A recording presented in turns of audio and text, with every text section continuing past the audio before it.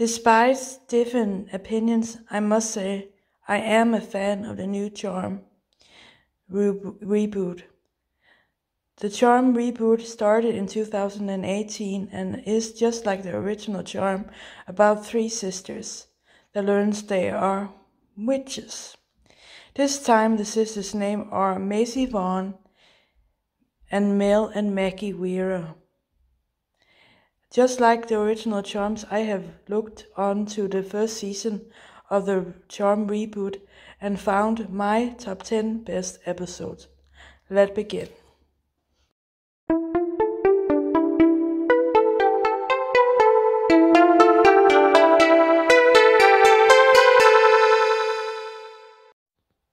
On number 10 on the list, we have the episode Manic Pixie Nightmare. It really was a fun and weird episode, but it works. As Maggie tries to work on on moving on from Parker, she's surprised to learn that Parker is tipping her and her sisters about a mysterious death on campus. Soon they learn they are dealing with a pixie Chloe who is controlled by a student. The sisters free Chloe and saves a very infected Harry while giving Chloe some advice in the future about protecting her heart better. I love Harry under the influence of pixie dust. I did not really care about the B story between Macy and Galvin, even that it led to Macy losing her virginity. Also, Maggie forgives Parker and they get back together.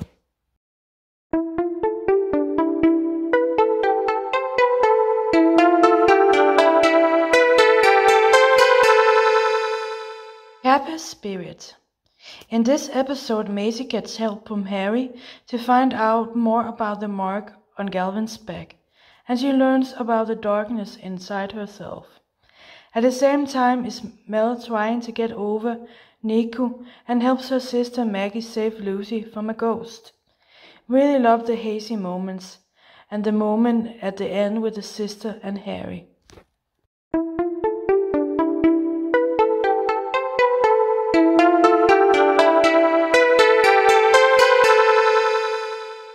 Keep calm and Harry on.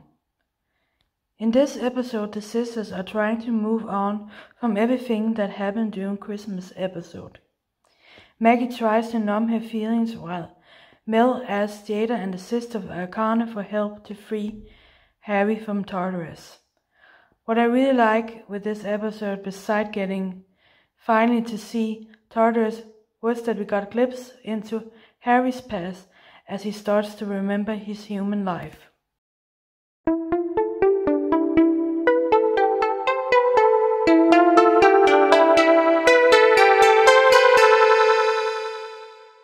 Source material.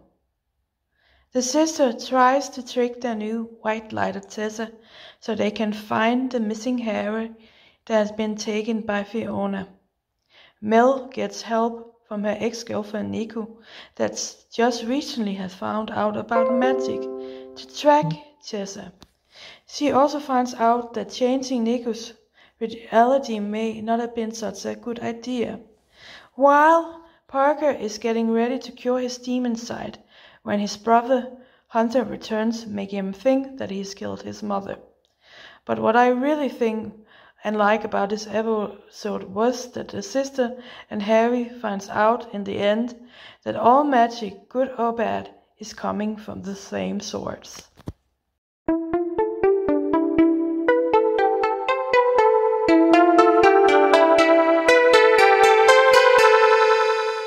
Perfect. In this episode, the sister must deal with the shocking news that Mel and Maggie are not fully sisters. Macy tries to get answers and finds letters from her parents written between each other. Mel learns more about the sister of Connor from Jada and runs into her ex, Niko. Maggie decides to try out for a cappella group and learns that a man behind the group is turning the singers into sirens. In the end, with the help from Harry and Galvin, the sister saves the day. Mel accepts that her mother probably hides its secrets from them to protect them, and Maggie and Maisie finds a letter telling that Maisie was brought back from brought back to life after being dead.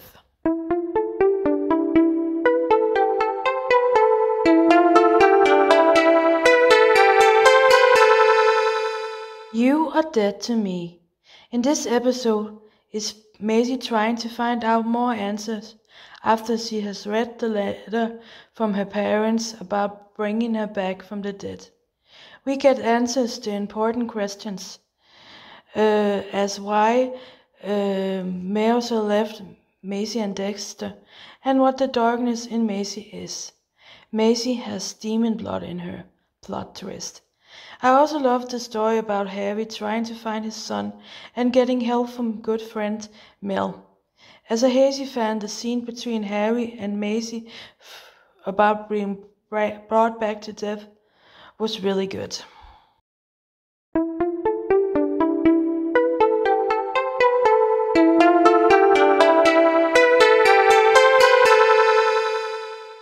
Switch and Stone what an amazing episode. Yes, I thought it was a little early to do a Switch body episode while we don't know the sisters that much, but the actors playing Mel and Maggie did a good job.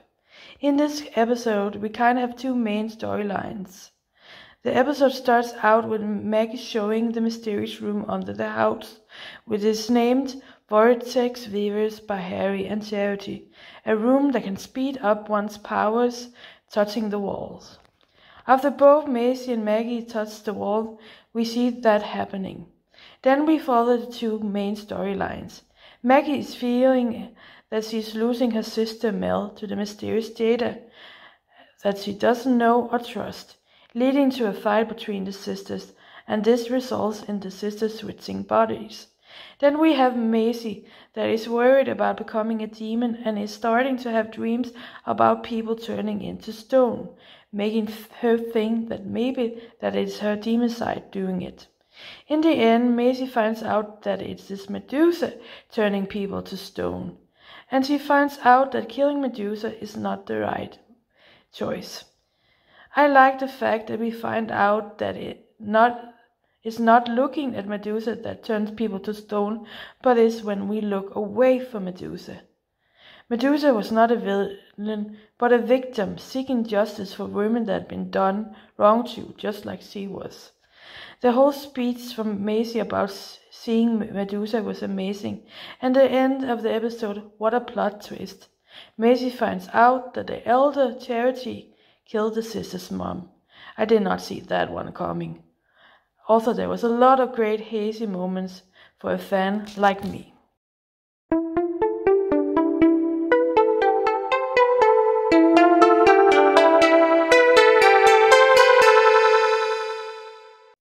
Rain. When this episode aired, it really felt like a season finale. A lot of things happened, and all the main villains were killed off. The harbinger of hell has returned to infect the citizens, citizens of Hilltowne. At the same time, Mel, Maggie, and Harry must protect the, their enemy, Charity, the last elder, from dying, so the prophecy about the rising of the source of all evil will not happen. In the end, Charity is killed by her sister Fiona.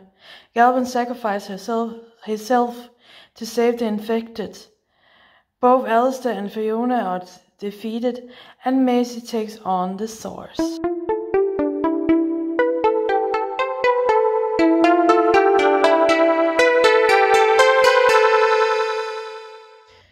Memento Mori. I like this episode episode a lot because of the different darker tone the episode has and compared to the other lighter tone of episodes in the season. In the episode, we see Maisie wake up and find out that she can't remember a lot of things that had happened. So she asks Harry and Charity for help. As a viewer, it's really hard to watch as Maisie slowly loses trust in herself, even thinking that her demon side is taking over and that she has killed an elder, when we all know that Charity is the guilty one. It really comes as a shock that Charity, an elder and a person very close to both the sisters and Harry, are the one going around killing elders. Also, it was cool to see how Maisie used her new power to show her and her sisters finally how their mother died.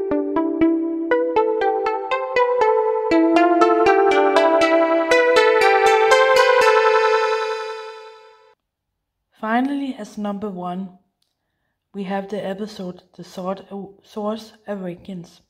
In this final episode of the season, also a lot is happening.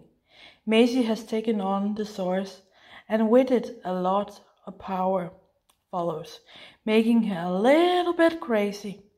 Maggie, Mel, and Harry are doing their best to try and help her, but it's not easy as Maisie keeps using her power to create different altered realities.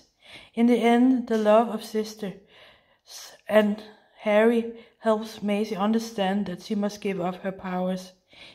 Even a lot is happening is still a great episode, and I like the callback to the original charms in the end when Maisie uses her powers to close the front door. It is also the final episode we see Niko as Mel decides to leave her alone and Parker leaves Maggie behind. That was that video. I hope you enjoy and if you like, please subscribe or give it a like. And remember that it's okay not to agree with my top 10 episodes. Please put in the comment sections if you have another episodes of the Charm Reboot Season 1 that you thought would should have been on the list. Also remember that all the pictures in this video are not mine but belongs to the CW and the Charm Reboot series. Goodbye.